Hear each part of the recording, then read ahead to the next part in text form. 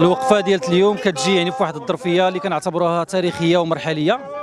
اللي كتسم بمجموعه من التراجعات واللي لاحظنا فيها بأن يعني النقابات كتنسحب من الحوار الاجتماعي بعد ما تبين بأن هذا الحوار يعني كيبقى يعني حوار خاوي ولا يحمل أي جديد.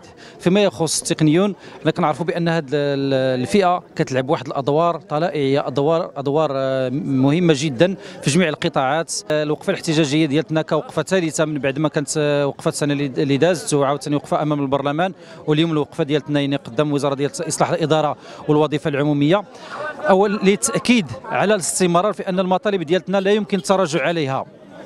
وللتأكيد أيضا أنه يعني إحنا مصرين على أن هذه المطالب ديالتنا مشروعة وعادلة ولا يمكن بأي حال أننا غادي نتراجعوا عليها لأن كتبقى يعني مسائل اللي هي بديهية باش أننا نوصلوا لهذه المطالب هذه. إحنا هنا في وقفة احتجاجية أمام مقر وزارة الوظيفة العمومية وإصلاح الإدارة من أجل المطالبة بمجموعة من الحقوق وعلى رأسها تعديل القانون الأساسي آه، لهيئة التقنية المشتركة بين الوزارات. بما يضمن العدالة الأجرية مع يعني مع مجموعة ديال الفئات اللي كتلقى عندنا نفس الوضعية الاداريه ولكن كتلقى فيما يخص الأجر مختلف.